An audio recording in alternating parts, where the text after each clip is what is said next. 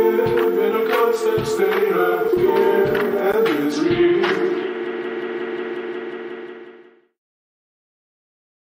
Hello, everybody. So today is Tuesday, September 10th, and we are bringing you a special edition of Block Digest with Gabor Gurbacs of VanEck. I hope I pronounced that name close to correctly.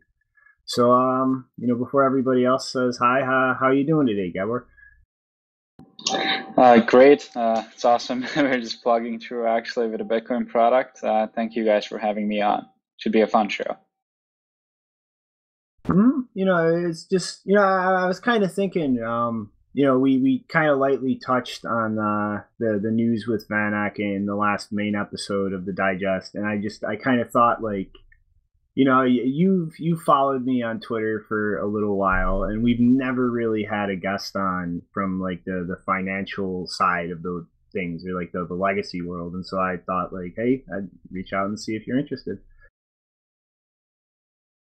Yeah, thanks for the invite. It's kind of funny. Whenever I think about it, I work in the legacy part of the industry. It makes me sad in some ways, but hopefully, on sort of on the more fun end of it, uh, my training is in mathematics, uh, and uh, so I've been uh, involved a little bit in Bitcoin, and and hopefully, uh, hopefully, I won't disappoint from the legacy side. And you know, we're we're trying to work to and bring to market some Bitcoin products. And uh, thank thank you again for the invite.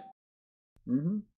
So I guess you know before we get into it, like what's what's going on with uh you today, Rick? Nopara. Oh, just a good Tuesday, man. It's good to yeah sit down with uh Gabor here and actually talk some of this ETF legacy discussion because it is one of those things we talk about fairly regularly on the podcast and how the ETF denial has kind of become a running joke at this point and it's one of these things where it's just uh you know, one of these stories that we've just been talking and talking and talking about. So it'll be great to actually talk to some yourself and hear what your uh, perspective is there on the ground and how this whole prospect of these new products look. But uh, yeah, I'm doing good. Outside of that, ready for the conversation. How about you, Nopara? You doing okay today? Yeah, I'm, I'm, I'm very curious what I'm going to learn today. It's, it's uh, uncharted territory for me. Uh, on on another side note, I'm also cautiously optimistic regarding my audio this time. I think I finally got it right. Hopefully. well, you sound fantastic. Mm-hmm. All right, so I mean, like, uh, I guess let's let's just get into it. Uh, like, your employer, Gabor, is pretty much like trying to build the the fusion between Bitcoin and the legacy financial system. So I guess you know just kind of open ended to start like you know what what do you see as like the, the justification for that and how that's going to play out positively or negatively you know if these things actually get launched in the long term yeah definitely uh, i think maybe to start just so that the audience has an understanding why we're doing this here at van eck uh, uh, van eck is uh, is one of the older uh, financial services company. It was established in uh, 1955. The firm uh, right now manages about 50 billion dollars, and uh, we have a history of uh, bringing to market. Uh, so forward-looking and sort of intelligently designed products that at the time are not that desirable. So we built the first gold equity fund in the 60s, and actually in the 50s, the first international stock mutual fund. And and you know at, at those times people thought that the firm is kind of weird and why are you doing this? Why are you investing outside of us equities? And uh, so we have done that with a bunch of other like gold for instance in the 60s uh, built some of the first emerging market funds uh, Vietnam fund, Russia fund, Indonesia, and, and some, some others that are sort of more uh, targeted exposures. And so um, we've worked with regulators on, on this very closely, uh, starting uh, with the 60s. And um, we wanted to do something similar with Bitcoin, given that uh, in some ways it's similar to gold. And, and, and we believe that Bitcoin has the potential to become uh, digital gold. And we should be you know, supporting that movements and while our sort of like skills uh, lie on the sort of the financialization structuring and and the sort of like the regulatory negotiation side uh, we wanted to do our part.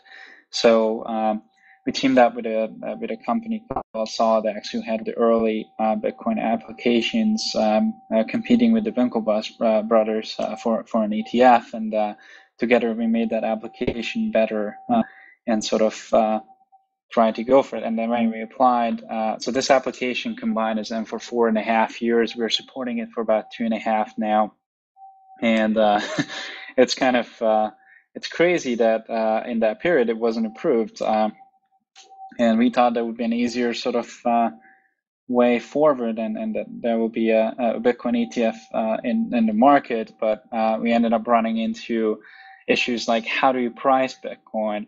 Is the price of Bitcoin manipulated? How do you custody Bitcoin? And you know, while these terms are often, you know, like custody of Bitcoin in the traditional sense is, is kind of weird in itself.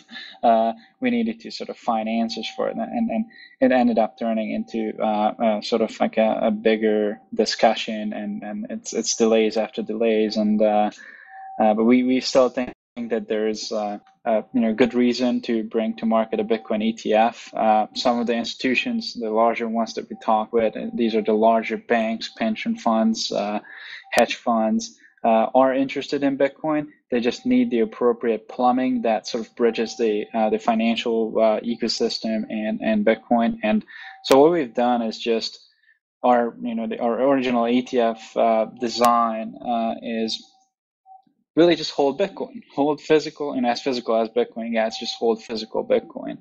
And uh, no shorting, no futures, nothing, just as simple as it gets. So and then ensure that Bitcoin against hacks, theft, loss, abuses of any sort, uh, and because we, we've seen that's a problem in this industry at this point. Uh, so we've done that and, and argued that um, you know such product would actually um, help protect uh, institutions against like big centralized like crypto exchanges that often may mismanage mismanage or lose money uh, on their clients. Sometimes they trade against their clients. So uh, basically, we, we, thought that this would be uh, uh, a better way to um, to provide simple Bitcoin only exposures, no other tokens, just Bitcoin. And uh, yeah, so that got delayed. Um, some of the arguments were that the markets are still manipulated, you know, whatever that means. I think every market is manipulated in some ways. Uh, I argued many times with uh, the the SEC staff, CFTC commissioner levels too, that Bitcoin is not uniquely manipulated. We wrote a bunch of papers and kind of showing evidence of it that it's not unique. Uh, and then uh, there was sort of um, issues around how do you price these uh, Bitcoin. And then uh, one of our um, subsidiaries from Frankfurt, Germany, spent two years building indices to find the right institutional price of Bitcoin. So we even went to a level where we now receive feeds from over-the-counter trading desks to find institutional size uh, trades and price or instrument on it. So the, the the battle for an ETF continues, and it's it's not not sexy in any ways. Uh, we're just uh, we are doing sort of mundane things to convince regulators uh, that you know some that the right market structure components are in place, and those are custody pricing and manipulation protections. I think the market is ready. Regulators may not believe it so. So, um, so I guess that sort of we we segued into this uh, offering just these 144A shares with uh, the VanEck and SolidX teams to qualified institutional buyers, which are just the biggest institutions.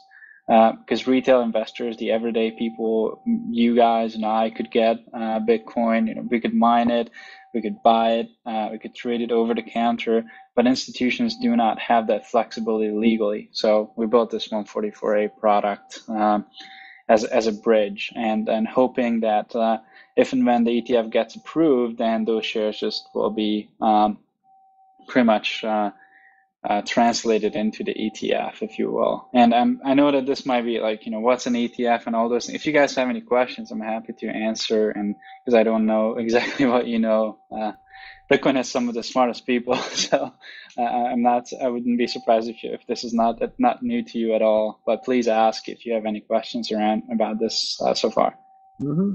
I mean, like you know, there, there is a, a couple different uh, big picture directions I really want to plumb in there, but I, I think it would be a good idea, you know, just for a lot of the listeners to maybe real quick run down like the, the structure of an ETF and how uh, basket creation and redemption um, and that kind of stuff works. Yeah, definitely. So, I mean, for all intents and purposes, uh, and and ETF is, is an exchange traded fund. It's like a mutual fund. It's like a mix of a mutual fund and and a stock. So that means that it holds some underlying asset, uh, but trades real time on uh, on an exchange, and hence the name exchange traded fund. So what happens is, uh, in in reality, is that an issuer like VanEck or SolidX creates shares of this ETF, say Bitcoin shares, and then then exchanges those shares uh, um, with uh, with uh, with companies called authorized participants, which are sort of the largest banks and, and traders in the in, in the world, and this exchange of shares, so so ETF shares to underlying Bitcoin shares, is is what creates this arbitrage mechanism, which basically means that uh, there's always trading uh, from um, from the authorized participants side who just try to source Bitcoin efficiently uh, out in the market and just trade the uh, with the, the exchange fund, exchange trade fund. But again, it's just a it's just a vehicle that trades on an exchange and holds an underlying. Traditionally, uh, ETFs hold multiple stocks. Uh, so, like the S and P 500, for instance, uh, is uh, as an index, and there's an ETF that tracks that. So uh, what happens is that uh, issuer would issue ETF shares, and then uh, authorized participants or large traders would buy those 500 stocks in what's called a basket, and they would exchange the basket shares to the ETF shares. Now, this exchange is often what's called an in-kind exchange because the what the ETF represents and what the the basket of uh, of stocks or bonds or Bitcoin or commodities represent is, is sort of is, is similar to the ETF share. So this is actually often a tax-free transaction. So uh, that means uh, that this is often useful for, for investors that do not want to be taxed when they reinvest their dividends or when they exchange their shares. And uh, and and yeah so so i mean an etf so that's that's sort of an etf i don't know maybe it's a long-winded answer for just an it's, it's it's a fund that trades on an exchange one of the the benefits of an uh, etf is that uh, it is legally mandatory to, to disclose um, prices uh, of that uh, ETF every 15 seconds. So you always know where it's traded. It's mandatory to provide transparency to the holdings.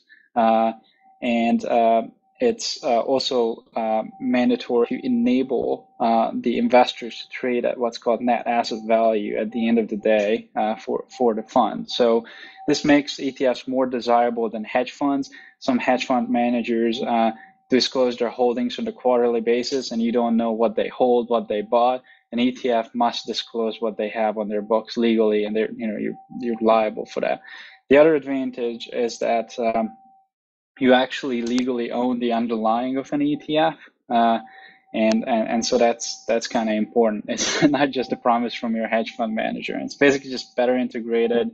And what I I like to say that uh, as far as Wall Street goes, this is sort of the most trust minimized structure that exists out there because like all the uh, the authorized participants com- compete for order flow. Uh, the issuers have legal representations to make and uh, if uh, you basically you, you try to this crazy trust cycle ends up being competitive uh, and i think that works out for the interest of the in- investor and just for um, you know as a, as a reference uh, uh 20 years ago there were no etfs uh, in the past 20 years um, there uh, have been about 7.3 trillion 7.4 trillion dollars value created in exchange traded funds and about 6,300, 6,000 actually 6,200 uh, ETFs uh, globally, uh, about 3,900 of which is in the United States. So it's you know some crazy assets have been created. Mutual funds are losing value to ETFs. The sort of the hedge fund business is uh, dying out um, because of ETFs. I would say because there's more transparency in the space, tends to be cheaper, and uh, I do think that you know Bitcoin and and sort of uh, more uh, trust minimized structures are the next evolution of, of the ETF, and that's kind of one of the other reasons why why we're focused on it. Mm-hmm. Okay, so that that last part uh, I'm definitely going to try to get into later if we have the time. But so for for anybody who still might be kind of blurry on what an ETF is, would you say like a very good layman analogy would be it's effectively just Bitcoin backed fiat notes that have a much better legal protection and transparency that people use to invest instead of spend his money. Yeah, that's a good way to summarize it. Uh, I, except that again, the uh, the ownership is for the individual. Uh, it belongs to you. When you own a fund, like if there's an adverse event that the issuer goes down, then the proceeds go to you. So I think that's an important distinction, not, not to be confused with exchange traded notes. Uh, which are, and we have seen some uh, European Bitcoin-based exchange-traded notes, uh, which whereby the issuer just promises you to pay uh, uh, proceeds and you have 100% counterparty risk. Here, the fund is in your name and you own it. The entire system needs to go down to, for you to, or a large part of the system needs to go down for for you to lose money, and that's that's a different story. Mm-hmm. Okay, so it's kind of like circle back on um you know one of the things I wanted to touch on from your your first kind of breakdown of things is like ETFs and like these kinds of institutional products are you know very unpopular among a lot of Bitcoiners, and I think I'm kind of outside of the pack in, in that I really am am looking at these things favorably and think they're necessary. So I, I kind of want to ask you like what you think about how I look at this. Like if if the Bitcoin, like the hyper Bitcoinization thesis is correct, then in the long term, like that's just going to suck up value from a lot of other sectors of the economy. And that value transfer is going to wind up being very hurtful to anybody who doesn't have Bitcoin. And it's just not really practical to expect like everybody out there to take the steps and be capable of going and getting their hands on Bitcoin that they hold themselves. And products like an ETF, you know, you specifically mentioned like pension funds and hedge funds and other institutions looking at that. And I'm thinking like when you look at pensions and 401ks and things like that, if you give them a vehicle to expose themselves to Bitcoin, then all of those people out there who don't have the the capability to to get Bitcoin themselves have a way to get that exposure to to protect themselves if like the the, the thesis of hyper Bitcoinization winds up being true. And I, I think that that's a very like underanalyzed potential in, in the space.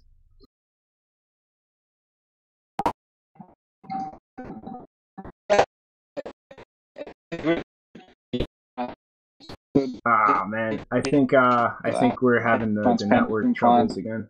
Large do not have a way to access. Oh.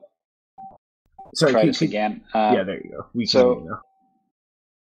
Perfect. Uh, so larger hedge funds, banks, and um pension funds and institutions do not currently have a way to access Bitcoin, uh, primarily because those um, institutions have what's called a fiduciary duty uh, to you know hold assets on behalf of others. So they actually can't make certain type of decisions to to buy Bitcoin on crypto exchanges because of sort of like risk reasons, risk department reasons. It would just not pass their their due diligence uh, modes. But if it's in the appropriate wrapper, then uh, like an e- ETF or a you know, 144A fund, then these guys can access Bitcoin. And and I do agree uh, with the thesis that regardless whether Bitcoin hyper Bitcoinization will fully happen or not, uh, the uh, one one should be able to have the optionality to bet on it. And right now, all these institutions are excluded. Like we can, individuals can buy Bitcoin.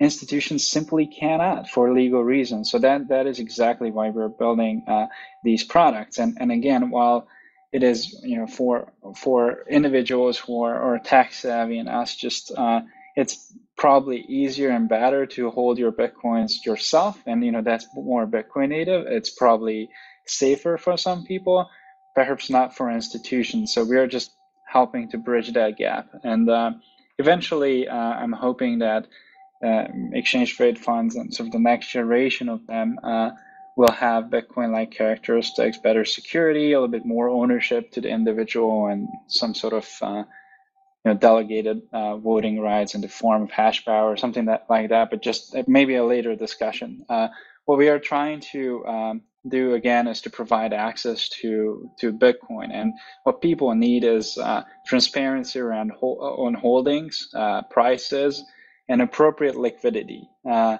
and you know, crypto exchanges don't have that. Uh, they also people just also need tax documents because uh, that's another underappreciated uh, aspect. That if those who want to pay their taxes do not know what to do with it, like you just need to go to an Excel sheet and, and spend like a month working through your trades or holdings and whatever. And so people fail to do that.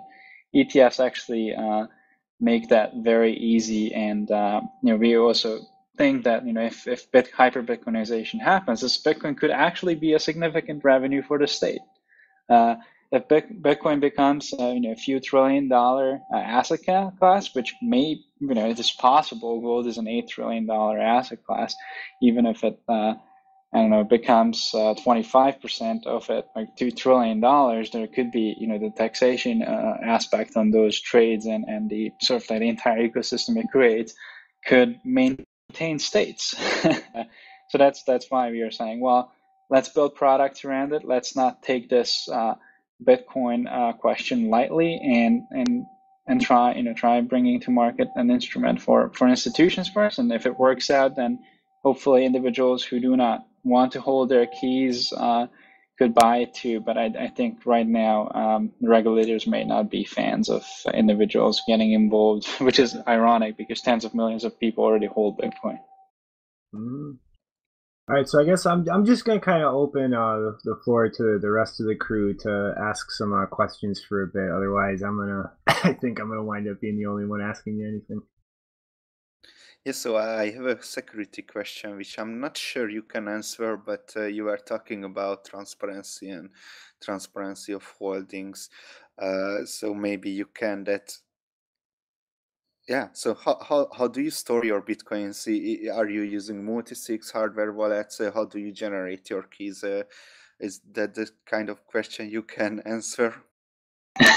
I'm sure actually I can't talk about that. It's it's a process uh, that that is sort of like well known in the industry, but I cannot publicly go into that. Uh, it is uh, sort of the the most standard you can think of. We uh, we're working with a cash custodian, which is a large bank, and and we do uh, we do sort of uh, we have a a smart game theoretically designed process among multiple firms to generate uh, keys as well as access the assets the interesting thing is, and you guys know this better than I do, when, when you get transactions and uh, and Bitcoin and you don't need to access any sort of uh, wallet or anything like that. Uh, but when you redeem assets, then you have to. But that so that's the we we're hoping that you know this is uh, it, it's a it's a proprietary process right now. So I, I'm I'm sorry that I can't talk more about it.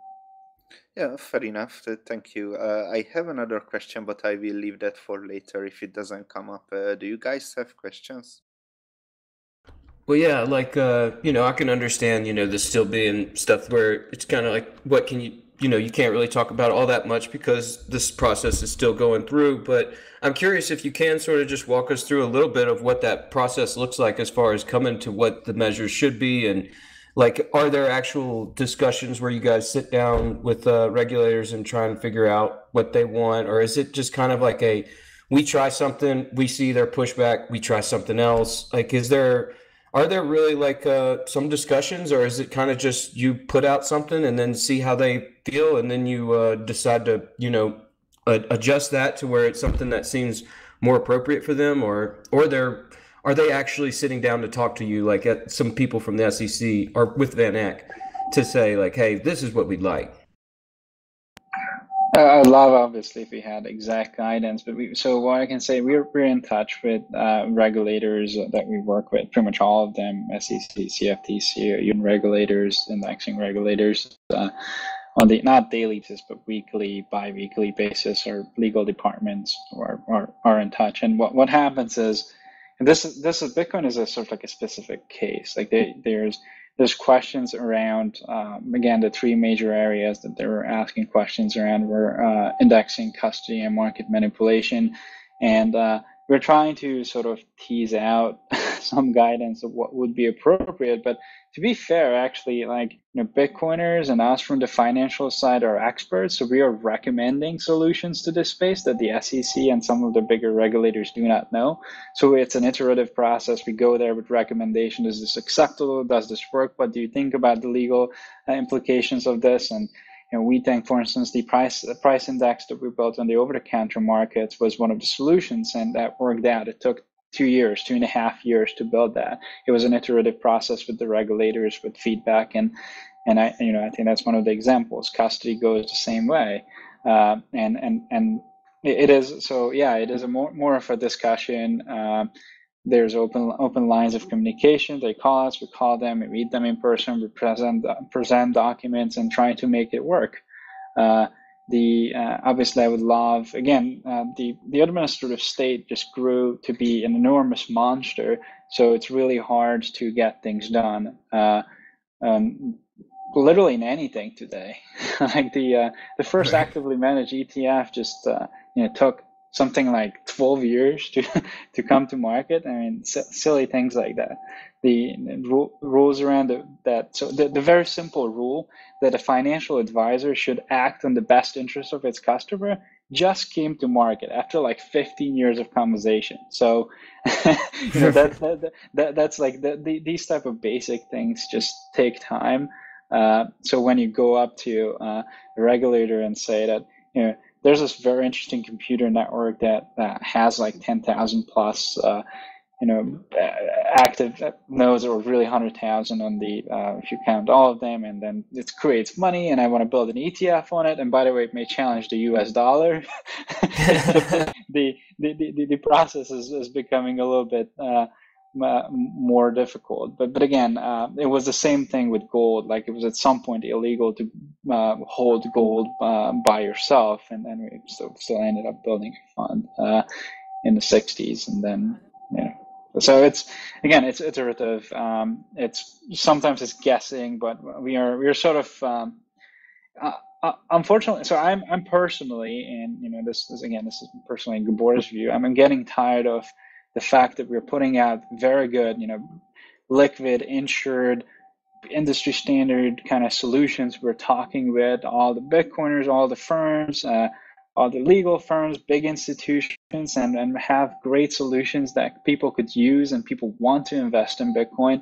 And regulators just don't let these products compete. So what happens is substandard, weird, you know, exchanges come to market and actually run away with people's money and and and so um, I'm I'm optimistic that uh, we're gonna you know see some progress, and that's why we sort of went on the route of okay, we're gonna do this 144A product.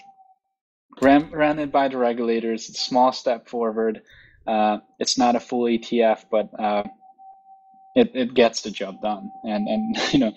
Looks like this is the approach to go with, but I, I don't know. I, I, I'd love if regulators were a little bit more supportive. You know, this, this I think is uh, sorry, Rick, I, I, I want to jump in here. I think it's a good opportunity, but you know, th- this is something that's really been, you know, confusing for me personally. Looking at the SEC's recent responses to things, as far as like the accusations of market manipulation and overall liquidity, like you know, a few months ago, we we had that report from uh, Bitwise that actually analyzed the the trading volume on all the different exchanges in the platform and kind of like isolated those 10 major exchanges that actually show healthy price discovery and arbitrage between them. And like isolated almost all the other exchanges in the space as just having like completely disconnected market activity like no indications of solid arbitrage between them and it's like the second that report came out like i i thought like this is going to completely change the sec's attitude. Like they will see this market structure and realize that creating more regulated products to link in with those would be a way to strengthen that arbitrage and kind of bleed that regulation into it. Just because you know if, if there's enough of those markets being arbitraged between that are regulated even if all of them aren't that that still has a, a, major impact on the overall market. But it's like there's been no attitude change of that kind at all i've seen. Like they're still just singing the same song about market manipulation and prices. And i like i'm kind of wondering like what do you think is really going on there as far as you know recognizing the reality of the market dynamics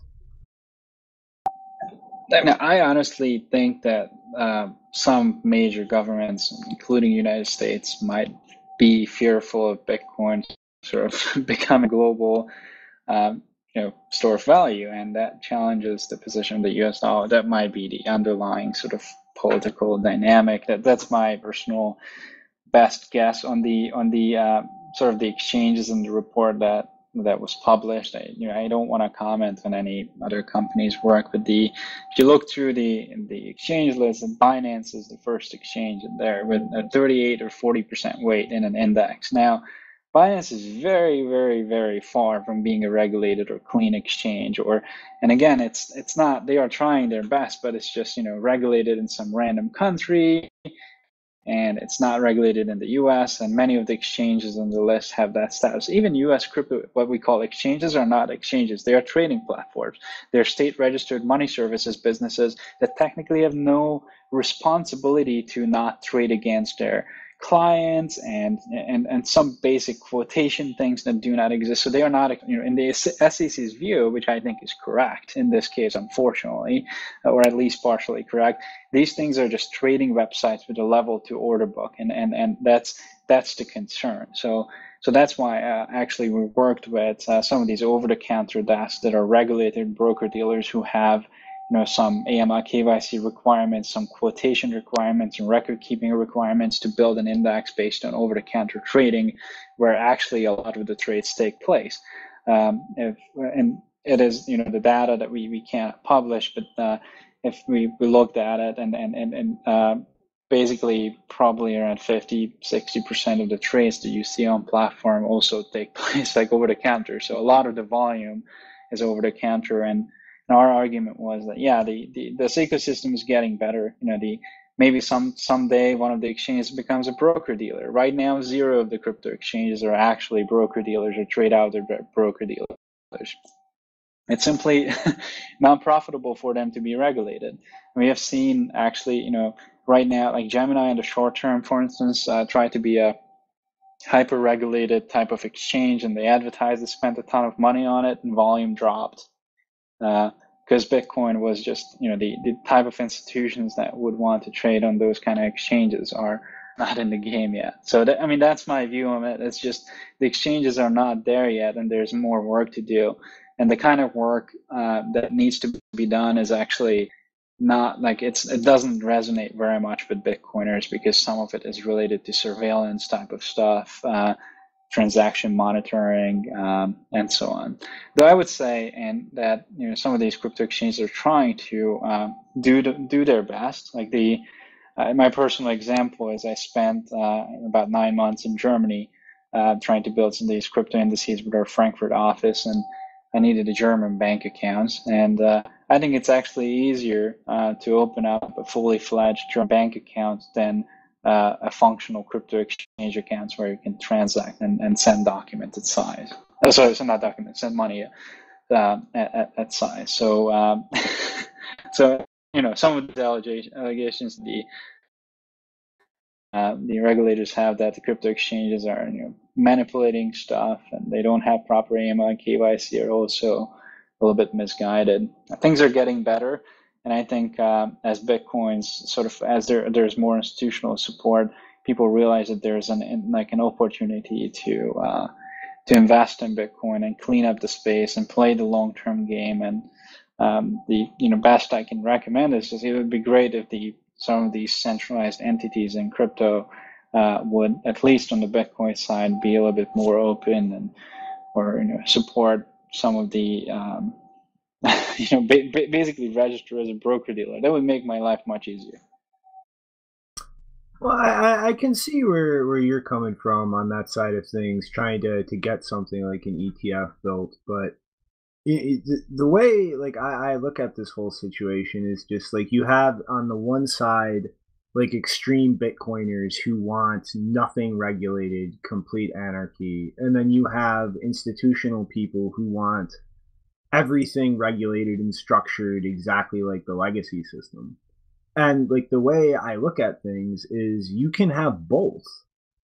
If you know the the regulated like institutional side of things just kind of accepts that there's going to be platforms out there where those types of rules aren't being applied but it won't matter if they're a small enough segment of the market and that arbitrage prevents like that lack of rules being used to manipulate the entire market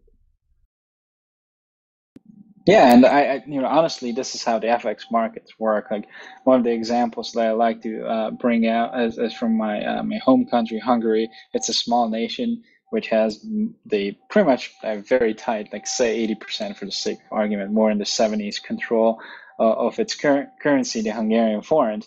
And uh, so if Hungary uh, has specific rules around the trade trading of the Hungarian forint, there's concentration on it and so on. Should that should it be not possible for like a Chinese or American company to build an ETF or anything related to the Hungarian forint or transact on it? No, that's BS. You know, it's just we we just need clean platforms and rules of engagement and let the free markets work things out.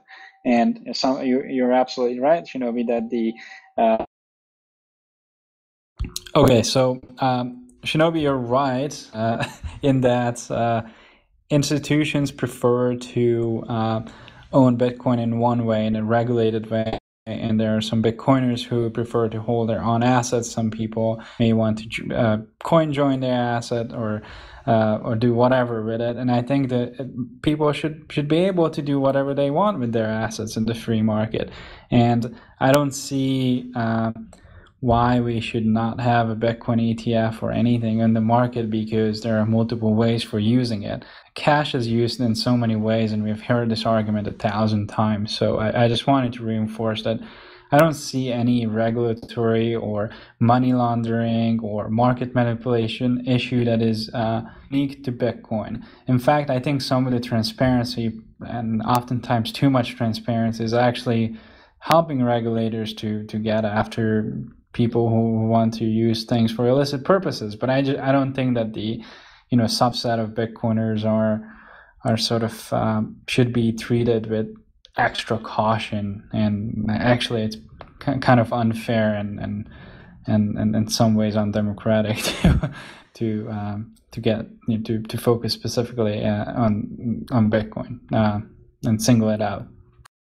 Mm-hmm. You know, one, one thing I, I think actually like would be worth pointing out is you know people I think have this idea that an ETF would start and then just start sucking up all of the Bitcoin out there and just always pull in more Bitcoin and none would ever leave it. But like it's like that completely doesn't understand the, the entire basket structure of an ETF and the fact that those are going to be created and redeemed and people will be trying to trade the arbitrage both ways and that that's not just like a, a black hole that bitcoins fall into and never come out of I mean, uh, this is actually my second question, but uh, you are arguing against it. But I, I, I would say this actually makes some kind of sense if the ETF becomes so big that it becomes a systemic risk to Bitcoin.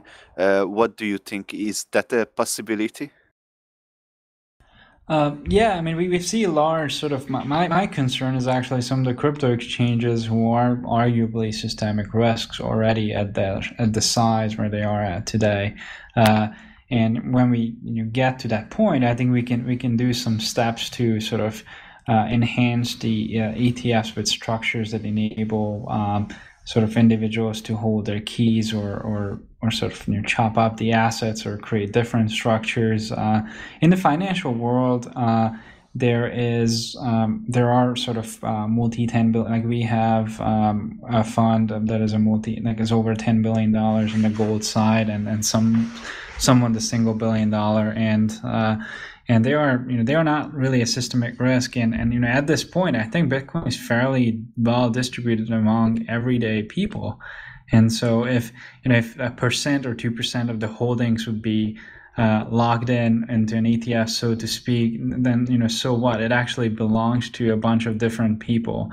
Uh, then the task is to work very closely with uh, with the with the people who, sort of develop the space and and, and, and, and to to make sure that we protect those assets uh, and make sure that the, the assets uh, sort of uh, represents the interest of, of the investors and so so I you know I find that very interesting sort of an interesting directions where, where where ETF uh, ETFs can go down the line. Right now, it's very simple. I mean, again, institutions simply can't buy into this revolution, and so we literally what we do is just provide a buy and hold uh, fund uh, to institutions so they can participate. Um, yeah.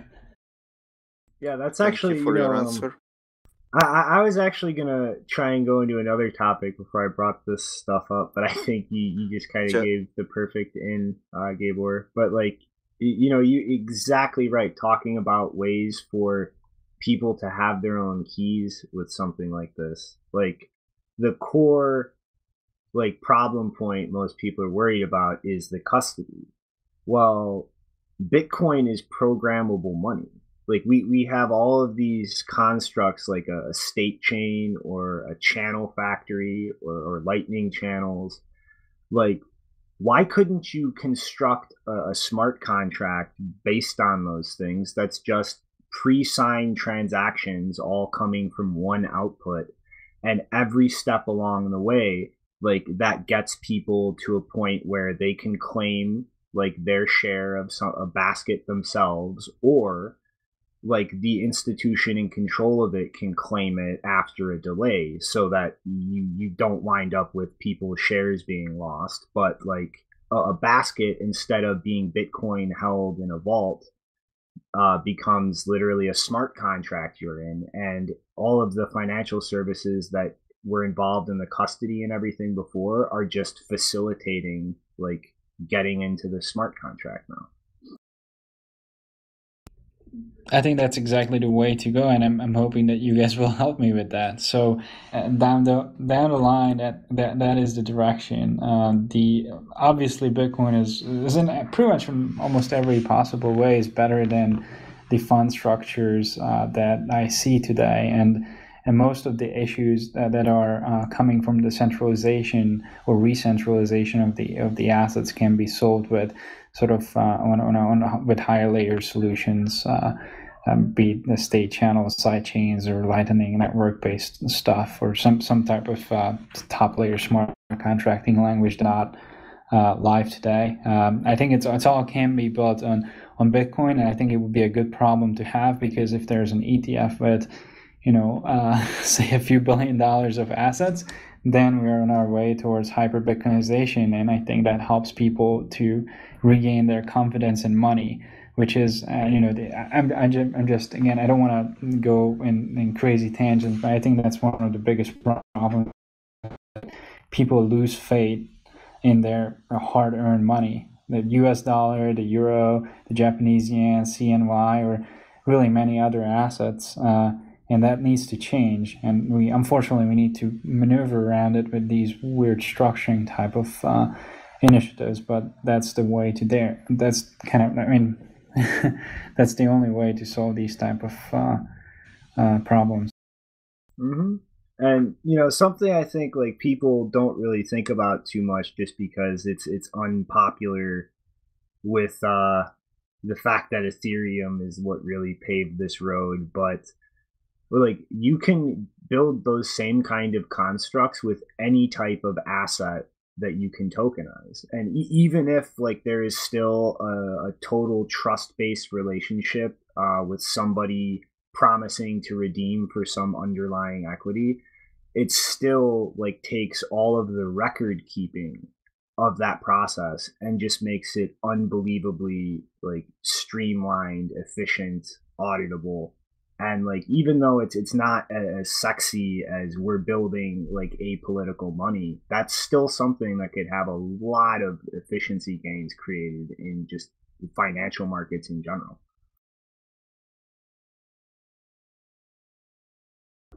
Yeah, I, I agree. All right. Well, Rick, Nopara, you guys uh have anything uh to bring up before I guess I take us into the last topic that I, that I had I wanted to bring up today? No, I don't have now. Yeah, I'm thinking I'm kind of plumbed for questions right now. Is Janine around? Oh, Yes, she is here. I'm around, but I don't have any questions. okay, I just wanted to make sure we're all getting an opportunity here. All right, then I guess off the diving board.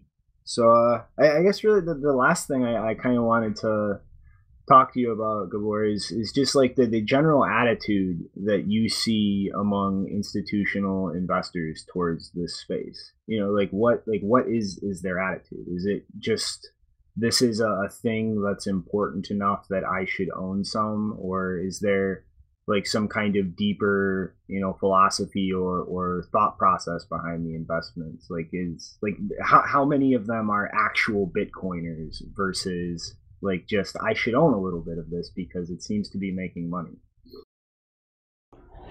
So there, there are two, two groups. Um, one of them is sort of the um, hard money, somewhat Austrian, often gold owner group who who understands the the implications of Bitcoin and sort of even under, even without understanding the full sort of like technical specifications that, that went into build, constructing the network and, and and how it came around, they they get the investment uh, idea and want to be sort of allocating some percent of their assets, probably somewhere between uh, half a percent to three percent in a, in a in a diversified portfolio to Bitcoin. So that's one group. Those are looking. Those people are focusing on Bitcoin, not other stuff, just Bitcoin, and see see how it goes. So their exposure to the digital asset space is through Bitcoin, and there's another. So this is a very small percent percentage of people, and, and I have to be honest. I think it's probably you know probably five percent of people, or ten percent maybe.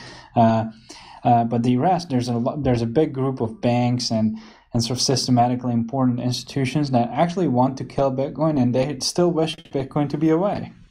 And that's it's a really really influential group of people who just don't want their jobs and lives to be, to be changed. So uh, we should be aware of them and that's why sort of uh, what we're doing is we're trying to make sure that bitcoin gets into their you know life everyday life and way in which they they live their lives and, and so that they can get access to this you know unique asset. Uh, because right now they you know, this 80 90% group is viewing bitcoin as a big disruptor to their jobs but one way to get you know familiarize them with the space is to find a convenient relatively familiar way to um, to have have them access the asset class so that's what we're trying to do.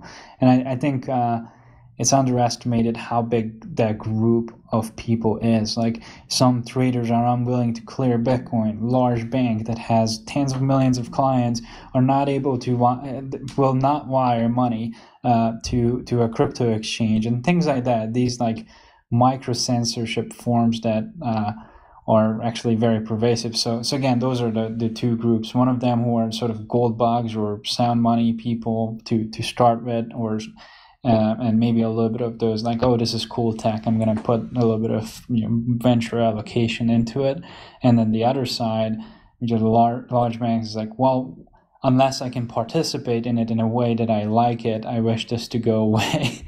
So i'm trying to get that big portion of uh, um, institutional investors to kind of calm down and, and, and, and give the appropriate attention to this asset and don't just treat you know young people in this space like they are children and don't know what to do but just evaluate bitcoin as what it is which is an exponential technology that will change the financial lives of many people so that's kind of the um, again that's the group that i'm trying to focus on and and it's it's hard mm-hmm. and so like you know as far as like you know the the other side of things in this space like you you mentioned when when we first started you know pension funds and and things like that kind of looking into bitcoin as an investment vehicle. And you know we've seen um i th- it, it was either early this year or late last year. Um i'm kind of spacing on the exact time frame but the major universities like mit stanford harvard um, all allocated small percentages of their endowment funds into um, Bitcoin.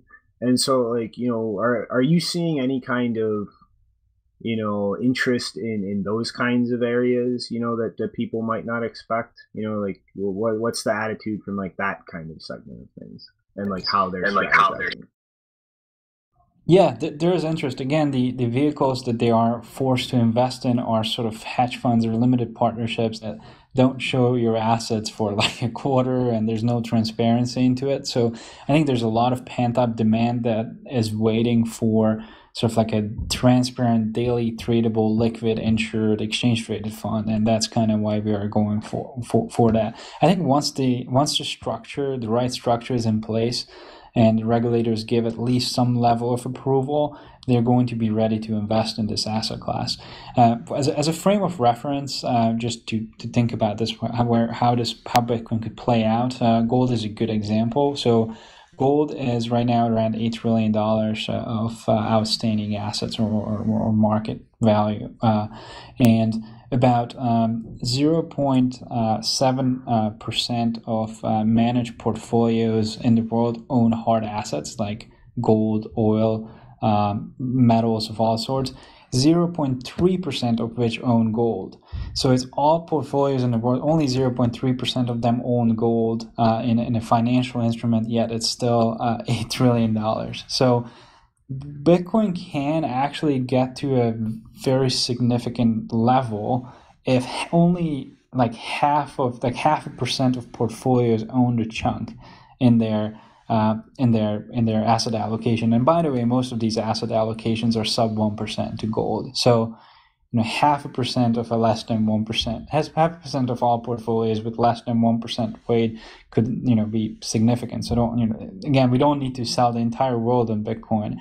It's just uh, uh the the institutions who sort of already own gold or or are some uh, sort of safe haven assets uh, could could make this all work.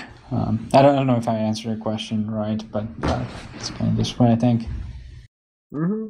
I mean, you did. It's actually, you know, talking to you, I it's, it's I'm feeling a lot more positive about this space because it's like all all of the things as a more technical person in this space that like they're the things that pop into my head or like how I would think about like these kinds of institutional things. Like it seems like that's exactly how you're thinking. It's like I feel very positive that the, the people in your position actually have a very good grasp of all of this shit.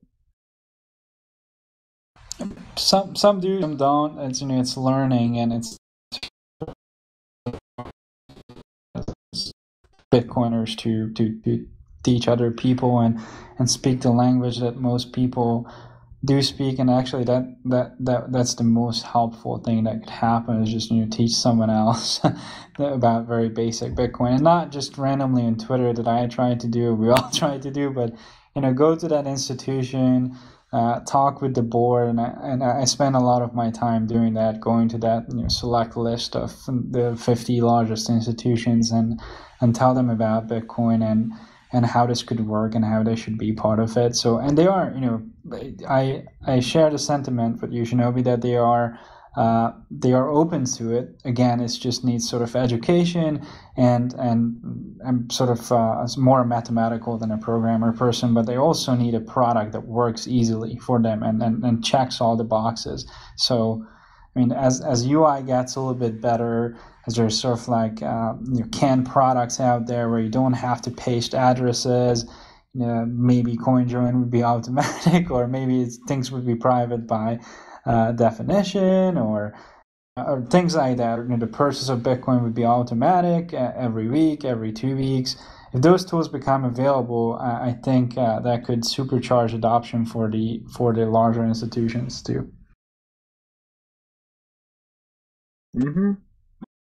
I mean, it's really like this is just, you know, I, I think like people who who look at Bitcoin and see hyper Bitcoinization coming, like they they completely invert like the the reality in their heads. Like they they look at it like forget all of this institutional money and big money and like let get get people on the streets using it, and that just completely ignores the, the reality of, of supply and demand in a market. Like you're not, it's not all the moms and pa's on the street that are going to take Bitcoin to a multi-trillion dollar asset class that's capitalized enough to use as money. It's going to be all of the big money where that wealth is concentrated.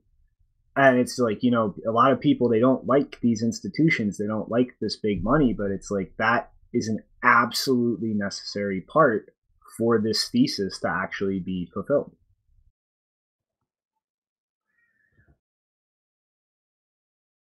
Yeah, and and they are again. Um, I think it's sort of more more of a combination. So, what is an institution? An institution just represents a bunch of a collection of or set of everyday people. So, uh, in some ways, when a large institution with, with billions of dollars in assets comes comes into the space, then all their clients, sometimes millions of people, participate uh, implicitly, and you know, newsletters go out to uh, to teach the the clients of that institution, and that's that's how adoption uh, works. It's just uh, and as uh, it's kind of like basic organizational on it takes longer for institutions to, to find a common denominator that they can push through all, all of their clientele um, but yeah i mean there's the actually i on on this matter too I, I wanted to ask you guys is is there anything that we could do better or like how how else? I mean we're trying our best and we have dedicated resources and, and, and things like that and trying to invested um, a lot of time and money trying to get this etf to market and, and other things and trying to be available when needed. But is there anything else that we could do better or how, how else can we help? I mean like honestly like i think you guys are doing a great job like as is like you're showing a very good understanding of things you're doing what you have to do to accomplish the goal you set. I mean, it's just I think like Bitcoiners who are going to be rabidly against ETFs and institutional products, they're just always the, the, that's just blind ideology instead of somebody actually sitting down and looking at the situation. Yeah, it's really hard to say like if there's anything else more you guys can do because you guys really are doing a lot and from, you know, all these different people and groups that are trying to put these products together, like you're saying, I mean, there's a lot of education, there's not really any infrastructure there yet as far as you know, the networks and people that have these firm understandings of how this stuff works. So, I mean, it's really hard to say other than, you know, you guys are you're moving forward. It looks like things are about to go through with you guys with this uh, 144A, and we know that these other contracts are coming out later this month. And I mean, you know, there's just all these people that are coming in to bring these on ramps, and I know that yeah, there is this conflict with uh, you know, the bit some Bitcoiners about how exactly it all gets put together, but you know, there is no road that you guys you are building the road as you go forward. So it's hard to say if there's anything really I could say this how to do it differently. You guys are doing it. Okay. Uh, yeah, I mean, we are we're trying, and we are always open to feedback. You know, it's like down the line if uh, a specific you know, opportunity comes up about individual ownership or something like that, uh, we are definitely a firm that can listen, and uh, I'll, I'll, do my very best so that that the feedback that we are getting is actually gets listened to. So, uh, yep.